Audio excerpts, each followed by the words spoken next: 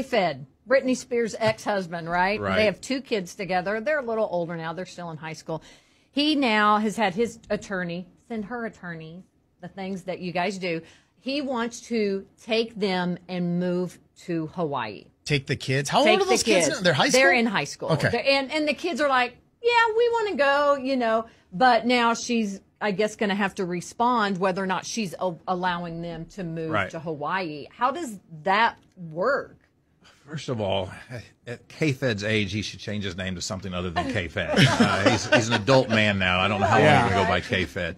Listen, this is K-Dad. there. You there you go. This is not an unusual deal when when people get divorced and they want to live and move to other states, and a lot goes into that. And I don't do family law, but I know just enough to be dangerous in this area.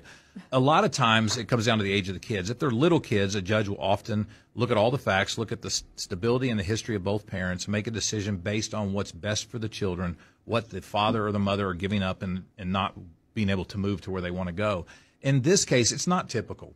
Britney is basically living her life out on in public on TikTok. I mean, if she puts out any more naked dancing on her beach or in her living room videos, That they're I mean, all. That's kind of all all she's it is. putting out. that's there. all Yeah, she does. I mean, and we all remember back when I don't want to say when Britney was normal Britney, but before she started having all these problems, eh, she's clearly a different person today, and her mindset and her mental stability is clearly different today. And so, a judge is going to look at this, and he's going to look at Britney and her mental stability. I think that even all of the people that did the big free Britney thing are realizing she's probably not the best person to be handling these kids at this point. The kids are a little older; they're to the age where they can look at a judge and give their opinion or you know where they want to go versus when you're a little kid you don't really have an opinion my guess is the judge is going to hold a hearing.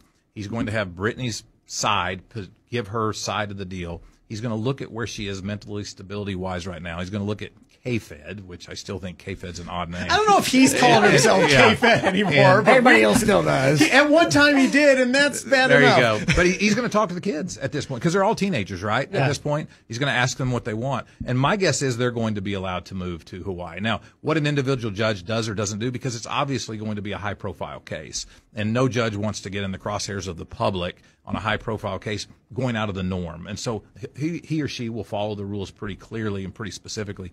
But Britney really doesn't have a very good position right now because we're talking about adult kids with their father who has doesn't have an allegation of mental instability versus her and she's got the ability to fly over there and see them with her handlers if she wants to. So I don't know what's going to happen. It's, the whole Britney thing is pretty sad, really. I mean, it's It a, is. It really is. It and, is. and is there It's anyone that has more legal fees than Britney Spears? My gosh, she's always in court. She's Yeah. always in court. And, and, and it's and it's people coming after. her. She has a lot of money. And I don't, for you know, listen, her father clearly, I think, took advantage of her for a long time and, and took money out of that account for a long time. Um, was it justified? I don't know. I don't know. I mean, I- I don't know if I would have been part of the Free Britney or not, but clearly she hasn't done well. But you know what? I think it also needs to be taken into account that she hasn't seen them in over a year. You know what I mean? That I go, okay, but Yeah. Is, is she they're, you using know, this now just as a the- control Yeah. versus does she really have the relationship? I, I don't know, but I still remember "Hit Me, Baby, One More Time."